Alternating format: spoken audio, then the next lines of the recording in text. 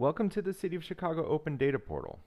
The data portal is a central spot where you can get graphs, tables, maps, and facts about the neighborhoods where Chicagoans live, work, and play. This video is going to walk through the first steps of getting data from the data portal.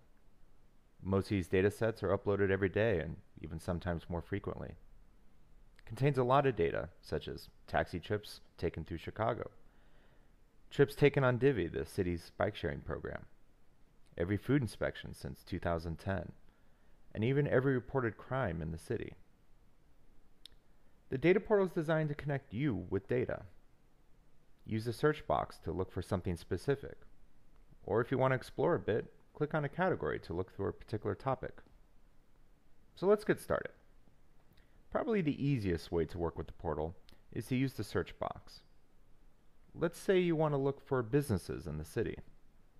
Let's type businesses in the search box to see what pops up.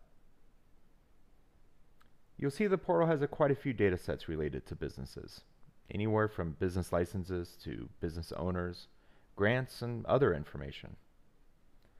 But our best shot will probably be looking at business licenses. As the description says, it's a list of all business licenses issued by the city since 2002. But you'll notice there's two links.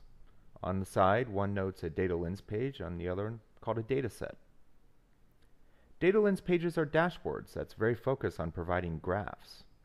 Data sets, on the other hand, gives you a link to the raw data and gives you the option for you to make maps or graphs on your own. Let's click on data sets to explore a bit. When we look at the data, we'll see a description about the data. Scroll down and you'll see that the data portal will also highlight related content sometimes, such as a link to the city's online system to register a new business. You can get some quick facts about the data, such as the last time the data was updated, the department who publishes it, and the popularity. More important, we can look at what's in the data.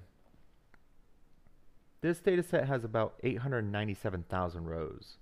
That's a, nearly a million business licenses issued by the city since 2002.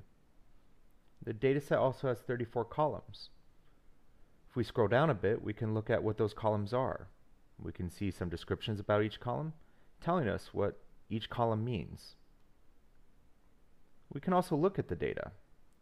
We can't view all of the data at the same time, but this gives us a preview and a sense of what's available to us. Scroll to the right and left to look at the columns and the data that's available. If you want the entire data, you can download it by scrolling to the top. Click on the Download button to look at the options.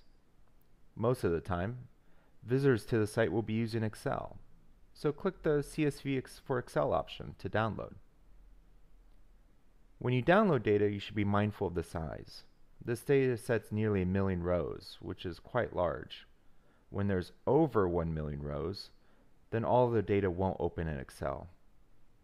With especially large data, you may want to make maps or graphs instead to explore the data. And we'll show you how to do that in our upcoming videos.